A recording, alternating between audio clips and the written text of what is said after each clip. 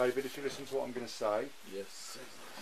just um, we're from Kent Police and we're investigating the murders of Wendy Knell and Caroline Pierce in 1987. Okay. As part of that investigation, you've been linked as a suspect both geographically and forensically.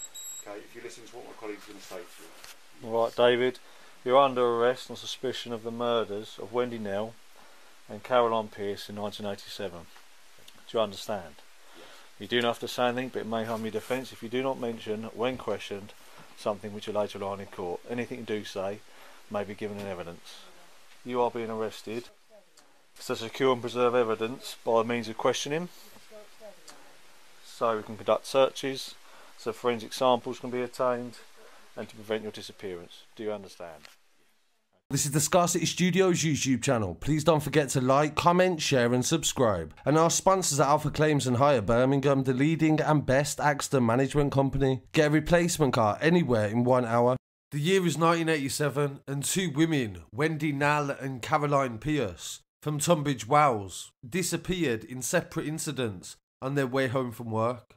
For 30 years, their murders have remained a mystery, and their families had no answers and no comfort as to what had occurred and who was responsible. It's only on the 4th of November 2021 that David Fuller, aged 67 from Heathfield, has been charged and found guilty of both of their murders, and he's also been convicted of a string of other sexual offences against dead people. Firstly, we will talk about the story of Wendy and Caroline and pay our respects to these women that never had justice done until today. Wendy was 25 years old when she was discovered by her boyfriend dead in her bedsit. This was on Guildford Road in Tunbridge, and the date was Tuesday, the 23rd of June 1987. She had been sexually assaulted, beaten, and strangled. On November the 24th, 1987, Caroline, the second victim, who was 20 years old at the time, was murdered after she was abducted from outside her bedsit on Grosvenor Park. Her body was discovered by a farm worker three weeks later in a remote location in Romney Marsh. This was more than 40 miles away. She was naked apart from a pair of tights and had also been sexually assaulted, beaten, and strangled. And all of these factors are what police describe as modus operandi. The fact that he dumped them in the same spot, he took them from the same area, and there were similar ages, similar appearance. Everything he'd done to them was the same as well. This is how they connect serial killers from research over years and years and years. Initial investigations found no clear sign of forced entry to Wendy's bedsit. Detectives concluded that Caroline was attacked outside her home, and several neighbours reported hearing screams. There was forensic evidence that was recovered from both of the crime scenes, but DNA profiling was in its infancy, and despite forensic samples being taken from multiple men in the area, no matches were ever found. The murders remained undetected for more than three decades, and throughout that period, cold case teams had been confident that one day they would get a breakthrough. In 1999, advances in forensic science meant detectives were able to find a DNA profile for the suspect of Wendy's murder. This was added to the national database and no matches were ever found, and the offender remained at large for another 10 years. Over the coming years, there was regular reviews of the investigation and also enhancements in DNA techniques. But nine years later in 2019, detectives from the Kent and Essex Serious Crime Directorate continued to explore new possible leads and they found a different type of examination that could be carried out to find evidence relating to the murder of Caroline. Scientists were able to recover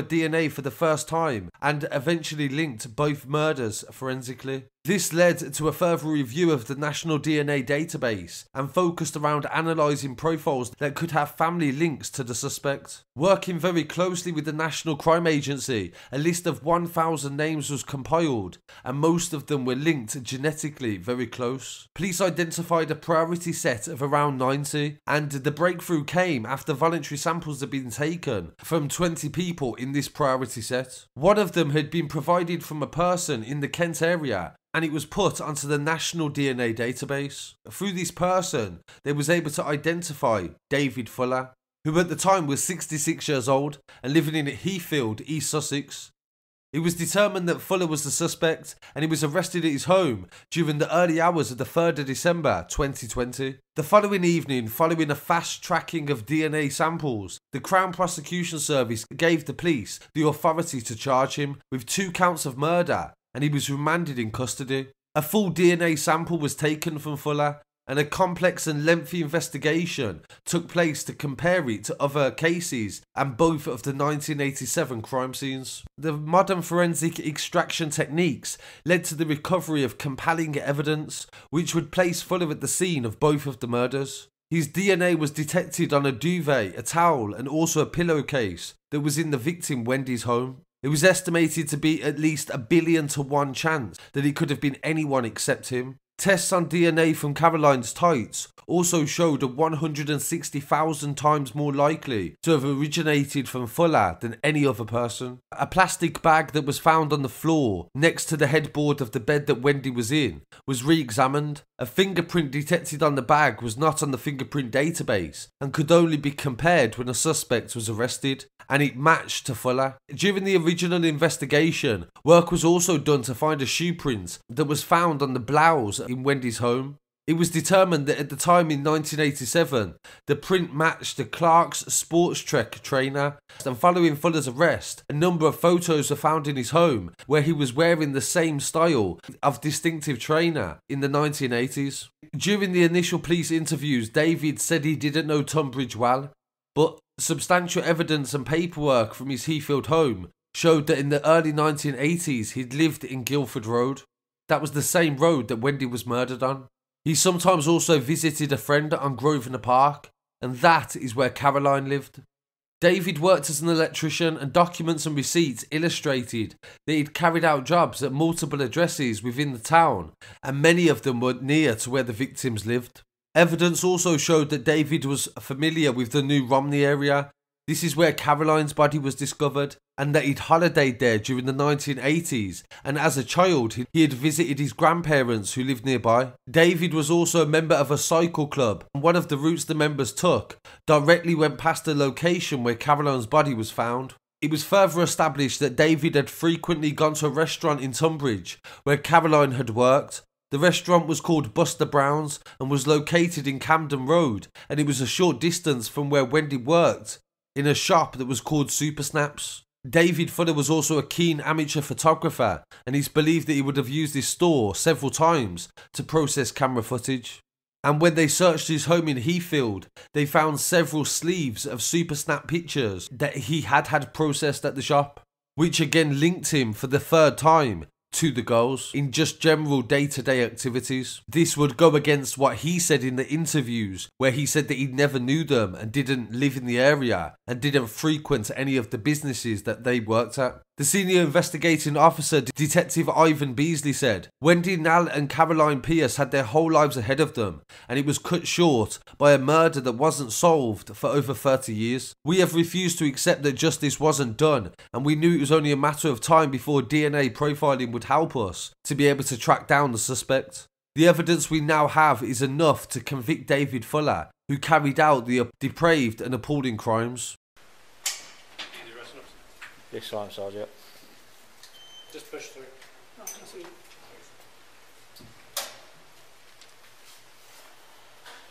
offence? Suspicion of murder. And circumstances. In 1987, there was two murders. One of Wendy Knell. and 1987. There were two murders. Uh, one of Wendy Knell and one of Caroline Pierce. There's been an investigation, and they've now been able to forensically link David Fuller to them offences. So we therefore attended his address today, and he was arrested on suspicion of the murder of Wendy Knell and Caroline Pierce in 1987. So, what a devastating story for Wendy and Caroline and what they must have gone through. And it's very easy to focus on the killers in these cases. And these women had so much going for them and so much personality and so much life in them. And he just stole it because he was dead inside. And this is nothing to admire or try to study or try to find answers to why David Fuller was the sick, depraved person that he was. It's just to understand that some people are, and that's the facts. Sadly, there was more victims. Following pleading guilty to the two murders of Wendy Knell and Caroline Pierce on November the 4th this year, Fuller has also pleaded guilty to 51 further offences relating to sexual offences on dead bodies. Some of the victims that had passed away were children as well. And he was also found in possession of extreme pornographic images, and some of them were of children as well, and voyeurism. They found this evidence when they raided his home and found hard drives and he was charged with them offences on the 4th of December 2020. Charged with 44 offences relating to 78 deceased females. Two of them were children under 18 years old and women over 85 years old. Sexual offences on the deceased females took place in a hospital mortuary that was in the Tunbridge area between 2008 and 2020. Officers have conducted extensive and sensitive inquiries working closely with Tunbridge Wells Police and the NHS to find the families of the victims. Detective Chief Superintendent Paul Fotheringham said that Fuller used his role as an electrician in two hospitals to carry out heinous acts on deceased victims. Not only did he kill and assault two young women in 1987, he went on for 30 years to abuse dead bodies in the mortuaries. He had even photographed some of them and they were found on the computer that he was found with. The police said that part of their inquiries was to identify the victims and they found as many as 100 but they could only identify 81 of them, and specially trained liaison police officers had to speak to the families in order to confirm their identities and give them reassurance that this could not happen again. So, this story really does make you question everything about society. And how are we even allowing somebody to be able to live for 30 years amongst us and nobody was able to figure out that what this man had done or the type of person that he was? Or maybe people did know the type of person that he was and felt like they shouldn't have reported it, or they just thought he was a bit of a weirdo. Similar to the case of Wayne Couzens, where friends and colleagues called him a rapist, but they didn't think that this was something they should tell their superiors and maybe try to prevent somebody from getting hurt in the future. Because I struggle to believe that nobody knew that this man was capable or had done some of these offences. So I send my condolences to the families of all of the victims, and that is not just the people that he murdered, but also the people that he sexually abused that had already passed away. So really appreciate you joining me today. Please don't forget to like, comment, share and subscribe. I'll be back again very shortly with some more news. And follow me online as well at, at Scarcity Studios on Instagram, Facebook, Twitter and TikTok. And rest in peace to Wendy and Caroline.